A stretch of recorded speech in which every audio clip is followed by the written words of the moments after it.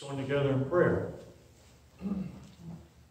Precious God, we thank you for your spirit, your love, your guidance, your care. Precious God, we thank you for being the shepherd that we look towards, that guides us to places of peace and comfort. Be with us today, God. Nothing happens unless it's sparked by you. Amen. Amen. It is a truly fearful moment for me to share with you on Mother's Day.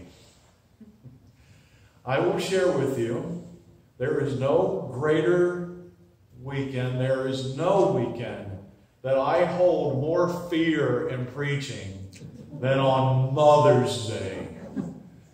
So there's this thing, and it almost it almost always happens.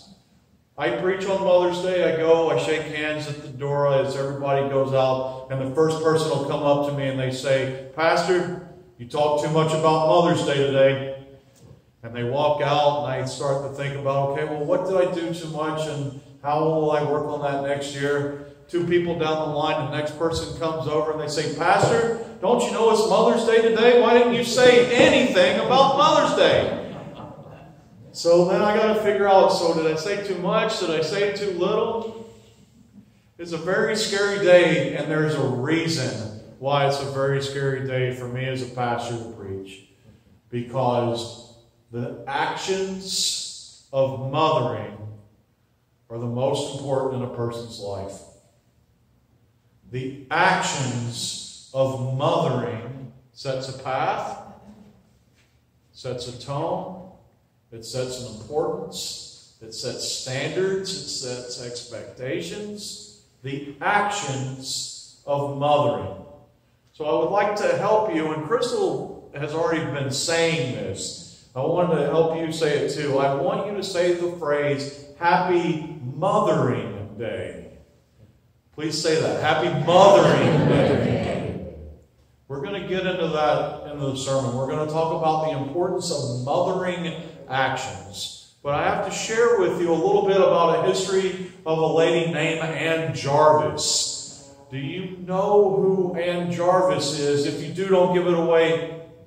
Marie, don't give it away. You'll ruin the whole sermon. We'll get out of here early. We'll get lunch early if you if you break if you give it away. Ann Jarvis.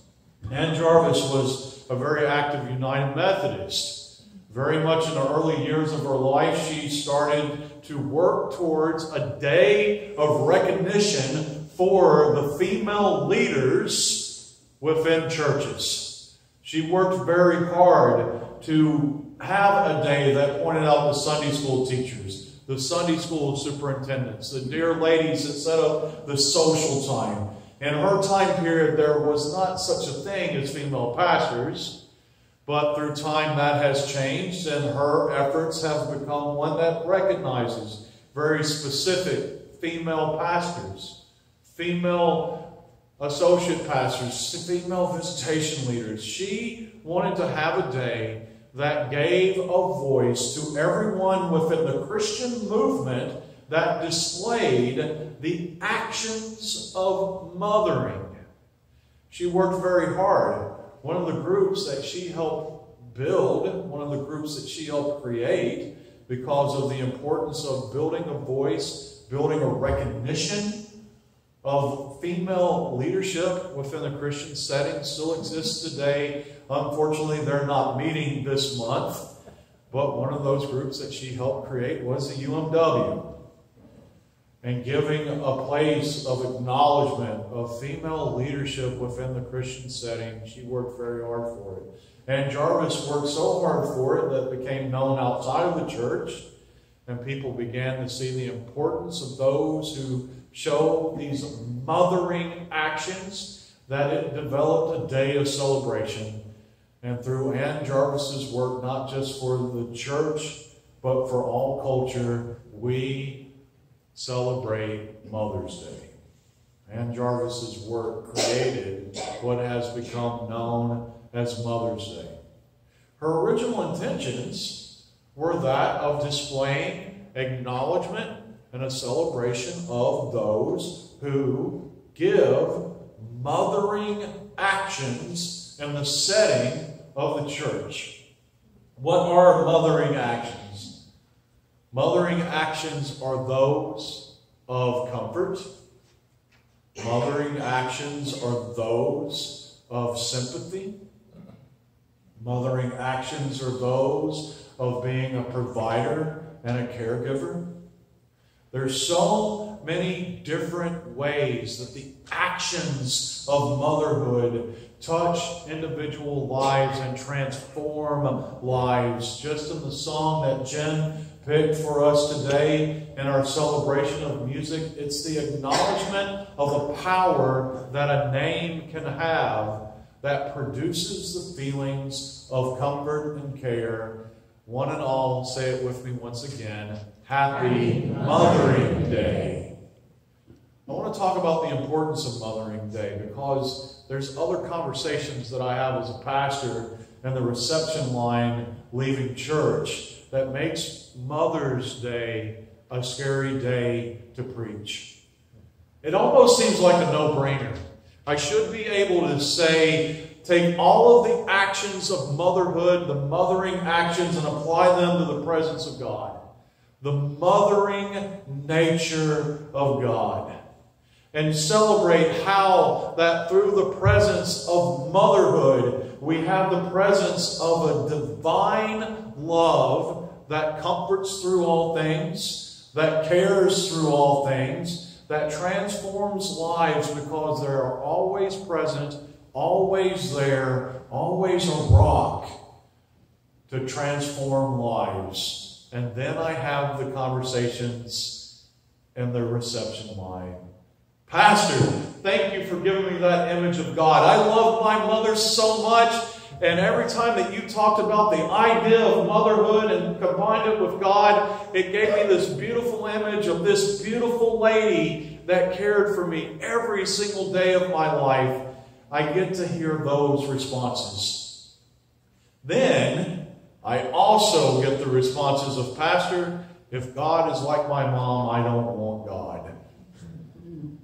Unfortunately, people are given a noun, but they don't live out the verb. If you remember last week's sermon, we have some dear souls that have been given a title, but they don't understand the actions that go along with that idol title. And unfortunately, Mother's Day is not always a day that's celebrated. So it becomes hard to talk about that because we have a loving image of a caregiver that many of us celebrate. Which comes again the importance of remembering the phrase, say it with me again, Happy Mothering Day. I learned as I was trying to figure out the conundrum of what to do on Mother's Day when I have the unfortunate opportunity to preach. How do I still proclaim an unending redemptive love even for people who don't have that direct image? How do I still do that? There's a practice in the European countries, and they don't call it Mother's Day. It is Mothering Day. The concept of the individual that shows care, that shows support, that shows comfort, that shows compassion, that shows understanding, and the reality that that person is not always a person that birthed us. Even within fractured family relationships, there still exists an individual that has the opportunity to be the mothering presence for an individual. It's why Ann Jarvis started the efforts that became Mother's Day. There were so many orphans that were abandoned. There were so many people trying to restructure their lives because of fractured family relationships. And they turned to the church to find that image. And either through a Sunday school teacher, through a dear friend that sat next to them in the pews, through a person that took a moment to just sit side by side with an individual to ask them how they were doing. These images of mothering open doors for a place of comfort and care. It's not always the person that gave birth, but God still brings into our lives those who are shepherds of motherhood that open a place to find that we are truly special. I want you to think about the mentors in your lives. And many times those mentors are our parents. I am very blessed to say that Mike Davis, my dad, is one of my heroes. I'm blessed to say that. And I'm blessed to say that God has placed in my life so many different shepherding people who displayed mothering actions that have helped me be where I'm at today. The individuals that have been the shepherds of my life that David read about in Psalm 23.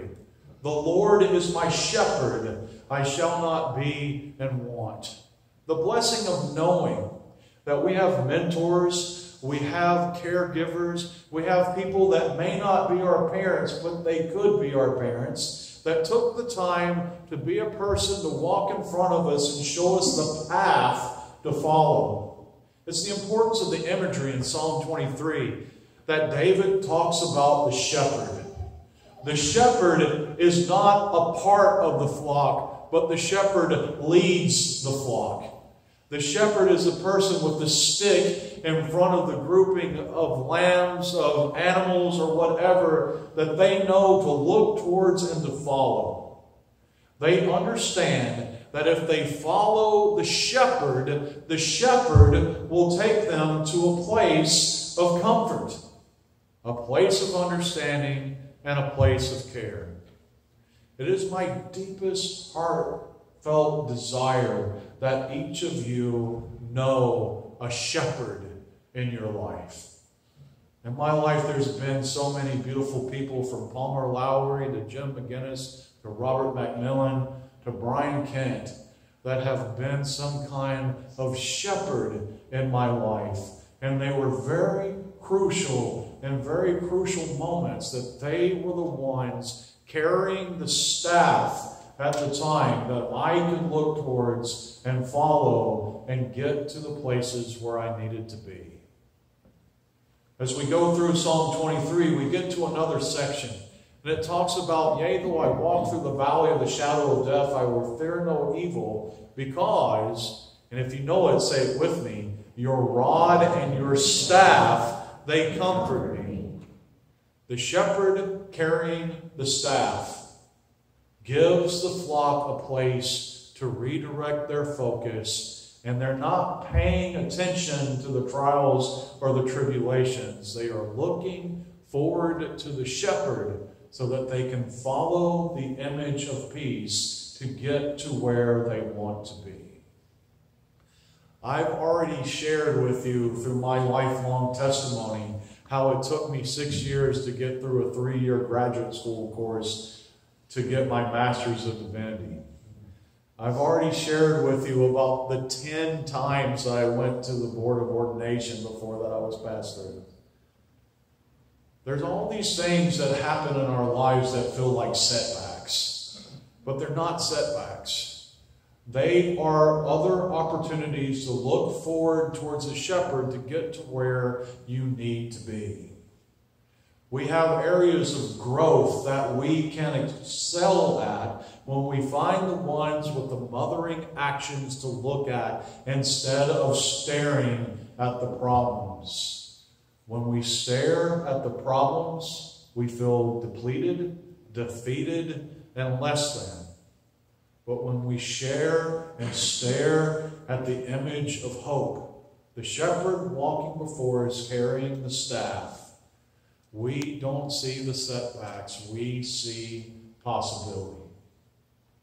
And every time we see possibility, it spurs hope, and hope spurs growth. I hope in your lives that you have a mentor that is the shepherd that displays the mothering actions that help you feel hopeful. When we find the connection to these dear friends, it helps us celebrate the last part of Psalm 23. And the last part of Psalm 23 Yea, though we walk through the valley of shadow of death, we will fear no evil, for thy rod and thy staff, they comfort me. And then you maketh me lay down beside still waters. You prepare a table for me in front of my enemies. And lo, I will be with you, even until the end of the age. All of the beautiful imagery that shares when we're able to connect, to follow, to focus on the shepherds in our lives. The shepherds that display the mothering actions of love, hope, joy, peace, patience, kindness, gentleness, and self control, the fruits of the Spirit, we can find a place that we can just sit down and rest. If you have a mother in your life that you celebrate every day, happy Mothering Day. If you didn't have such a close, strong relationship, but you still have that shepherd in your life that guided you to a place of hope, happy Mothering Day. And I just ask that you give yourself a chance to sit back, reflect, look at your lives so that you can see those shepherds and have a moment to sit down and once again to say all together, Happy Mothering Day. May the peace of the Lord Jesus Christ be with you.